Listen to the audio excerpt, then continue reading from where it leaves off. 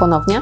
Dzisiaj ze mną kolejny raz Łukasz Strokowski i dzisiaj porozmawiamy o edukacji w Polsce, bo temat jest y, gruby, można by powiedzieć, głośny może, e, może raczej. Ja zadam pierwsze pytanie, Łukasz, takie nie co złego jest w, e, w programie, w podstawie programowej czy w edukacji ogólnie mówiąc w Polsce, tylko czy jest coś dobrego? Mhm. Jest bardzo dużo dobrych rzeczy, głównie pasjonaci nauczyciele. E, jest bardzo wielu, ja poznałem mnóstwo fajnych nauczycieli, z którymi świetnie się pracuje, którzy mają chęć, zaangażowanie, dyrektorów, którym się bardzo chce. Dzisiaj bycie dyrektorem szkoły to jest w ogóle zawód podwyższonego ryzyka. Dostają niewielkie pieniądze, mają olbrzymią odpowiedzialność i bardzo małą decyzyjność. To jest strasznie trudna kombinacja i mam ogromny szacunek do wszystkich, którzy podejmują się tej roli. To jest mocna strona systemu. E, bardzo fajne są dzieci, no ale to oczywiste, dzieci z założenia są fajne. A to, co jest niefajne, to cała logika systemu, procedury, które są zbudowane e, i koncepcja tego, jaka ta edukacja dzisiaj jest. Przy czym to nie jest w ogóle kwestia Polski. Bo żeby zrozumieć edukację dzisiaj, musielibyśmy cofnąć się wstecz o około 200 lat. Bo e, mało kto o tym wie, mało kto o tym myśli świadomie, ale kiedyś nie było powszechnej edukacji. Jeszcze 300-400 lat temu nie było tak, że każde dziecko chodziło do szkoły. Ogromna większość społeczeństwa była nieuczona niczego. E, dopiero mniej więcej w XIX wieku e, zaczęto organizować pierwsze próby edukacji powszechnej.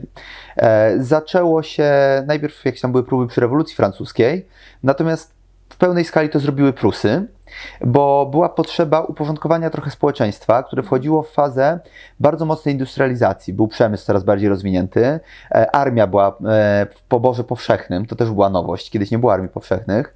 E, I to wszystko wymagało zmiany myślenia, uporządkowania, ustandaryzowania obywateli. No i powstała szkoła, dlatego mówi się często o tym modelu jako model pruski, która była genialnym odkryciem bo my dzisiaj na nią patrzymy z takim już lekkim zmęczeniem tym systemem, ale ona doprowadziła do tego, że relatywnie niewielkie księstwo Prus, które było oczywiście mocne, było mocnym graczem na arenie międzynarodowej, ale było tylko jednym z wielu księstw niemieckich, bardzo szybko zdominowało całkowicie ten region, e, bo udało się, oczywiście nie tylko szkoła doprowadziła do tego, doprowadziła do tego armia, doprowadziła do tego biurokracja, cały przemyślany, złożony system, który razem złożył się na bardzo nowoczesne państwo. I teraz według tej logiki budowano cały później system edukacyjny, no bo wszystkie państwa, które to zobaczyły, chciały mieć to samo. Więc zaczęto robić edukację, która miała kilka podstawowych celów. Miała nauczyć ludzi najważniejszych tych takich kompetencji liczenia, pisania, czytania w, w wystandaryzowany sposób, żeby obywatel był czytać, w stanie czytać, ale też bardzo szybko na przykład Brytyjczycy adaptowali ten system na potrzeby Imperium e, Brytyjskiego, w którym mieli urzędników rozproszonych w różnych częściach świata i oni musieli być w stanie komunikować się w identyczny sposób, identycznym systemem, pisać tak samo, liczyć tak samo, no bo w razie nieporozumień nie było możliwości wysłać SMS-a zwrotnego, e, co tam w tych Indiach się dzieje. Mhm. Więc potrzebna była standaryzacja. I standaryzacja była tym, co nas w XIX wieku pchnęło do wieku XX, doprowadziło do masowej industrializacji i generalnie cywilizacyjnie było świetne. Tylko, że świat się zmienił, a system nie. E, I dalej logika systemu edukacyjnego służy temu, co zdarzyło się wtedy. E, temu, żeby wyrównać wszystkich, żeby robić to na jedno kopyto, żeby wszyscy byli tak samo myśleli, żeby czuli posłuszeństwo i podporządkowanie wobec autorytetów, bo każdy człowiek ma w życiu takie trzy relacje władzy podstawowe. Ma rodziców najpierw, którzy mają władzę nad małym dzieckiem, mhm. potem ma nauczyciela, który ma władzę nad uczniem, potem ma przełożonego, który ma władzę nad podwładnym, ewentualnie urzędnika i państwo nad obywatelem. E, I to są te, te relacje, które gdzieś tam e, od, są na podobnym mechanizmie zbudowane. Szkoła była tak konstruowana, i żeby być w stanie przygotować ludzi do takiego samego podejścia później. E, czyli jeżeli nauczyciela należało słuchać bezdyskusyjnie, no to później bezdyskusyjnie też należy słuchać urzędnika i przełożonego. Oczywiście nie chodzi o to, że szkoła była tylko po to projektowana, to był raczej wynik pewnej filozofii logiki myślenia w tamtym okresie. No i jesteśmy dzisiaj w tym miejscu. Mamy rok 2020, planujemy loty na Marsa, mamy do czynienia z totalnie zróżnicowaną gospodarką, opartą na usługach, niesamowicie szybkim postępie technicznym.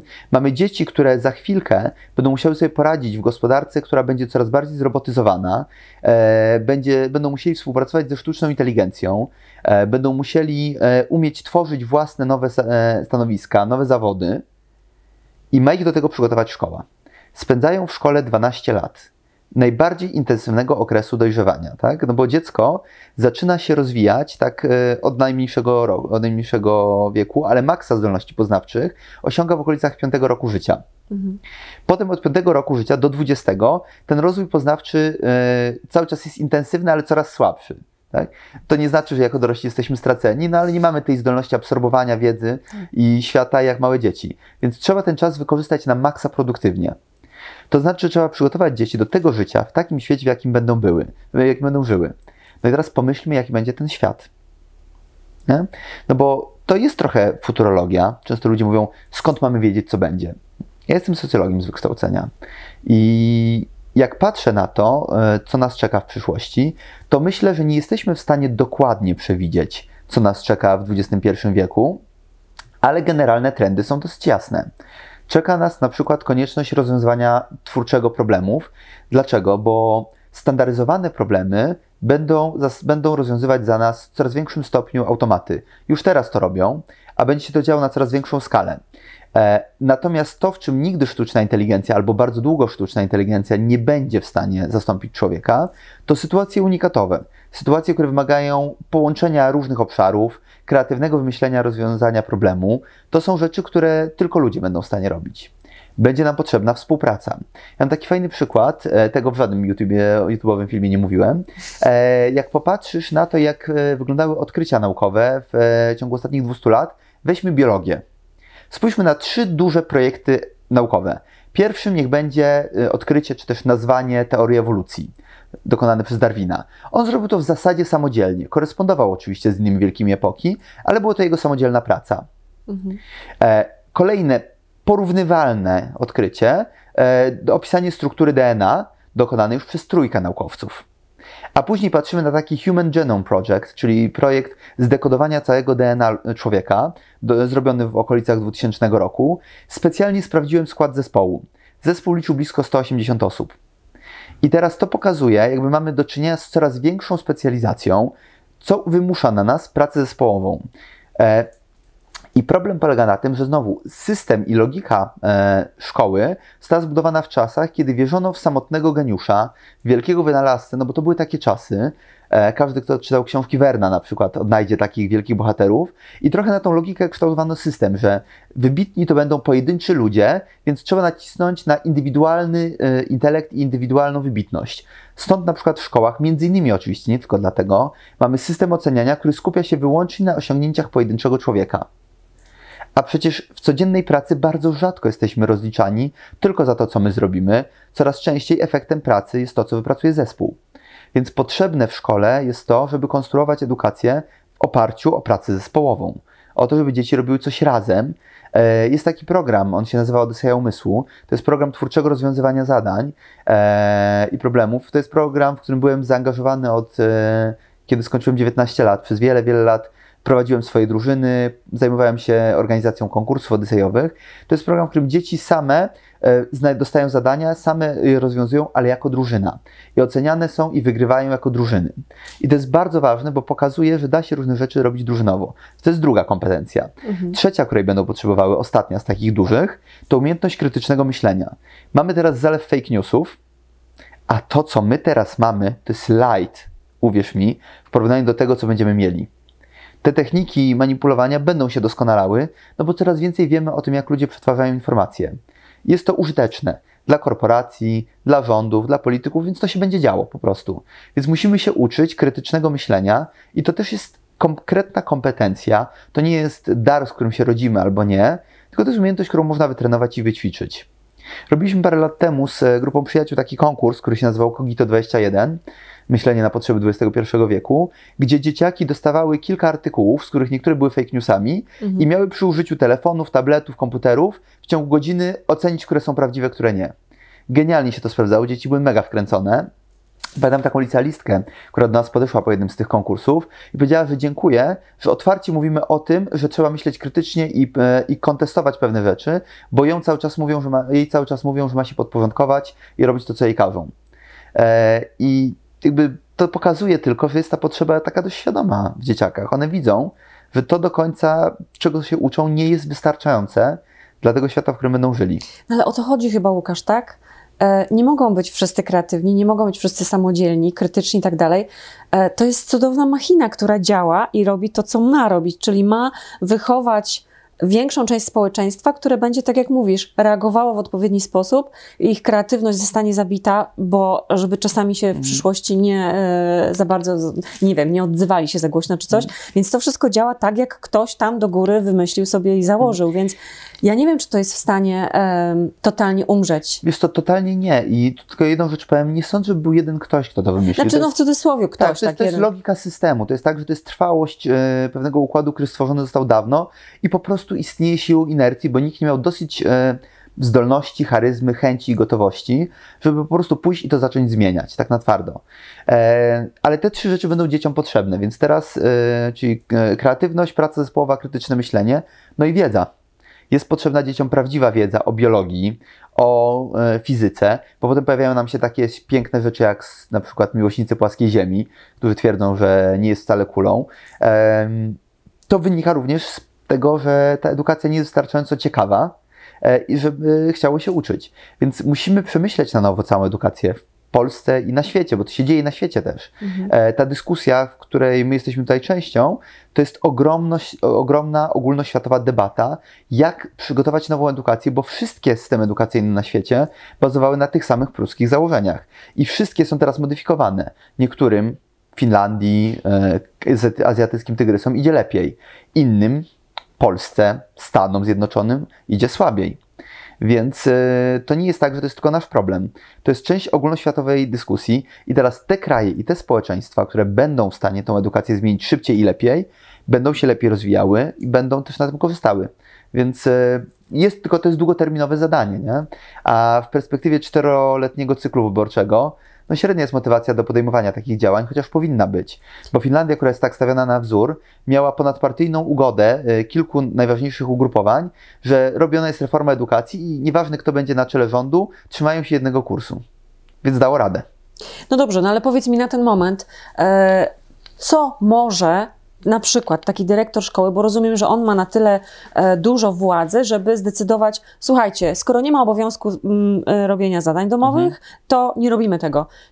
Czy to jest wykonalne? Czy to dyrektor sam nie może tego zmienić? Może jak to... najbardziej, tylko wymagane jest od niego dosyć dużo gotowości do starcia się z rzeczywistością, no bo to starcie będzie, ale są tacy dyrektorzy.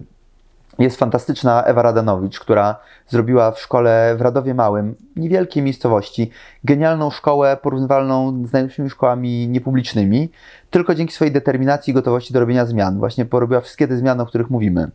E, Jest więcej takich dyrektorów, jest bardzo silny ruch budzących się szkół, które próbują coś zmieniać. Są nauczyciele super belwszy, którzy robią genialną robotę, wymieniając się informacjami na temat tego, jak można robić inną edukację. Więc to się dzieje bardzo oddolnie. Szkoda, że oddolnie, nie odgórnie, no ale lepiej, żeby było przynajmniej tak. Więc dyrektorzy jak najbardziej mogą i mają taką władzę, mają taką możliwość, no ale nie jest to łatwe. Zwłaszcza, że są w sytuacji w tej chwili szczególnie trudnej, no bo politycznie szkoły są pod obstrzałem. Po strajku e, nastroje w szkołach są dramatyczne. Ja mam cały czas sporo szkół e, publicznych, z którymi mam do czynienia i z którymi współpracuję i widzę, jak tam wygląda, jaka jest atmosfera, e, jaki jest klimat rozmów w pokojach nauczycielskich. Strajk mocno przetrącił e, kręgosłup nauczycielom, niestety, co wpływa na motywację i na gotowość robienia czegoś więcej w szkołach. I rozumiem nauczycieli, powinni zarabiać więcej, tak? No, to jest oczywiste. Mhm. E, w Finlandii, znowu, którą już kilka razy przywoływałem, nauczyciele zarabiają mniej więcej, kiedyś to porównywaliśmy, o tyle wyżej, powyżej ich średniej krajowej, ile nasi zarabiają poniżej naszej. E, więc to też pokazuje, gdzie jest jedno ze źródeł problemu. No dobrze, bo myślę sobie o tym, że odgórnie e, nie za wiele możemy oczekiwać. Dyrektorzy są w jakiejś, wielu z nich jest w jakiejś strefie komfortu i po prostu boją się rzucić na Mhm. taką głęboką wodę, chociażby ze względu na, na całą tą biurokrację. No i zostają e, nauczyciele, którzy wiją się trochę, no ale na samym dole jest uczeń. Mhm. Statystyki są przerażające, jeżeli chodzi o to, jak uczniowie e, podchodzą do nauki, e, jak podchodzą generalnie do stresu.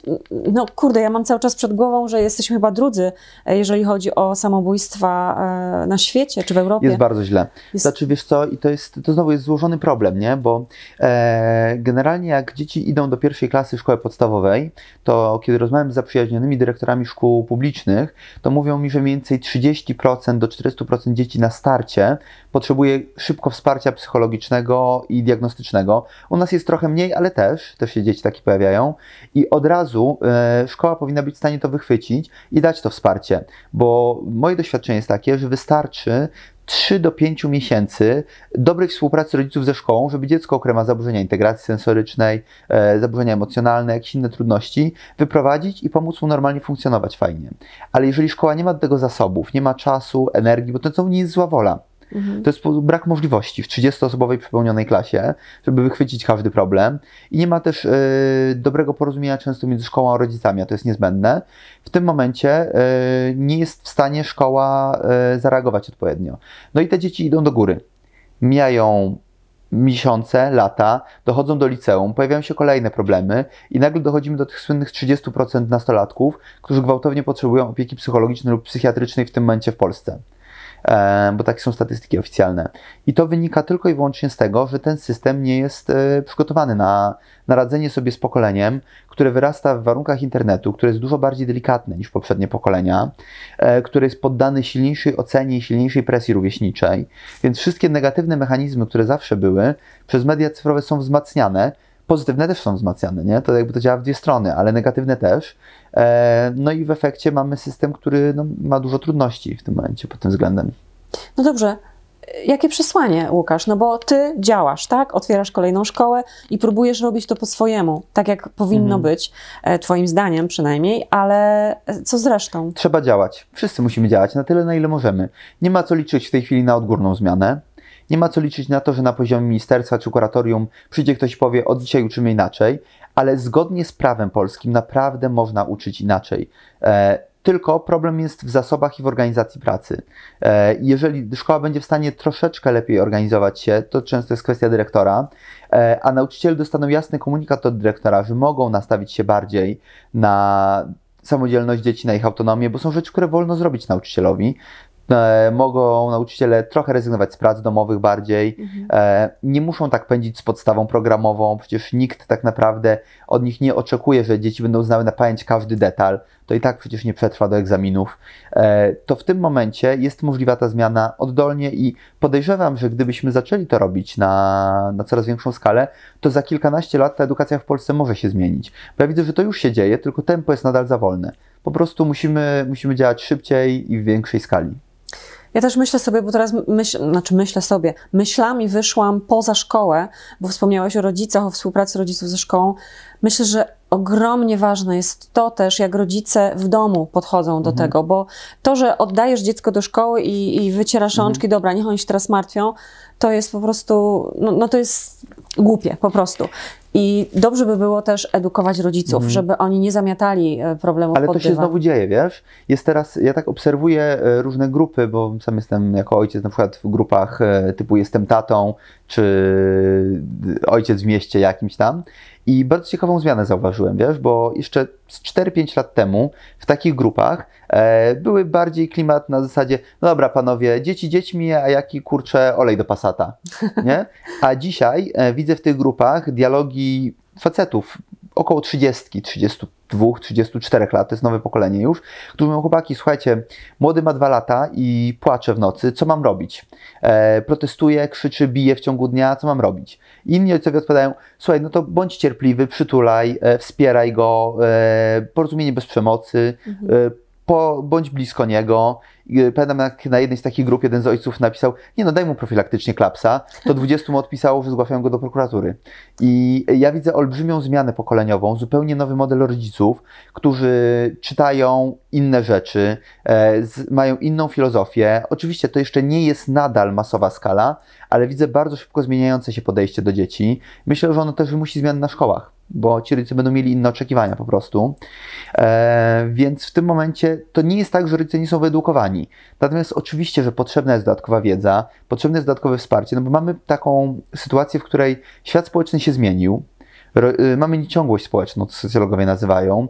E, rodzice wychowują dzieci nie mając często wsparcia i dobrych rad dziadków. Zresztą te rady nie zawsze są adekwatne do nowych realiów, e, więc muszą na nowo wypracować. Potrzebne są nowe sposoby zdobywania tej wiedzy, ale to się wszystko dzieje, tylko dzieje się online, dzieje się w małych grupkach, dzieje się na forach, na YouTubie, na zamkniętych grupach na Facebooku. Tam ta edukacja rodziców jest robiona. Mhm. Ale oczywiście zgadzam się, że szkoły też powinny szukać sposobów na to, jak rodzicom dawać wsparcie. No mamy na przykład tak, że y, pewnie będziemy mówili o tym w innym odcinku na temat mediów cyfrowych, ale zrobiliśmy coś takiego z naszymi rodzicami w szkole, y, ponieważ była dyskusja o tym, jak ma wyglądać wykorzystywanie mediów cyfrowych. Mhm. E, zrobiliśmy zespół złożony z rodziców i nauczycieli.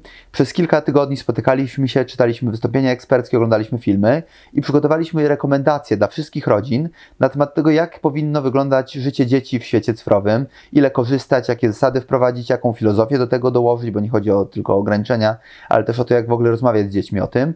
Wysłaliśmy to dla wszystkich naszych rodzin i dzięki temu na przykład unikamy teraz sytuacji, w których jedno dziecko przychodzi do drugiego i mówi, ale ty masz fajnie, ta moja mama jest beznadziejna, bo mi pozwala tylko 15 minut, a ci pozwala pół godziny, bo gdzieś tam mamy ten poziom ujednolicenia i porozumienia między rodzicami, a z drugiej strony też widzimy, że dla dzieci to jest fajniejsze, no bo rodzice trochę inaczej z nimi rozmawiają, poczytali te materiały, które dostali, e, widzę pozytywny, pozytywny efekt. Um, więc można to robić. Szkoła jest w stanie takie działania podejmować przy relatywnie niewielkim wysiłku organizacyjnym, bo kosztowało mnie to może, nie wiem, kilka godzin pracy, e, a bardzo duży efekt daje. Cudownie, że ty widzisz tyle plusów e, i że widzisz to światełko w tunelu. Ja też to widzę, że to się wszystko zmienia. Zmienia się bardzo powoli, ale idzie w dobrą stronę. Cóż, można by skwitować, że e, szkoły dobrze, gdyby, tak jak powiedziałeś chyba wcześniej, uczyły uczyć po prostu. Mhm. I żeby komunikacja między szkoła, uczeń, a e, rodzice była otwarta i, i no, nie bójmy się po prostu rozmawiać. No, z rozmowy jeszcze nic złego się nie wydarzyło, więc e, ja Ci kolejny raz dziękuję za to, że odwiedziłeś nas, że porozmawialiśmy i na pewno jeszcze kolejnych tematów będziemy razem dotykać. Dziękuję Ci Dziękuję. bardzo. Do zobaczenia.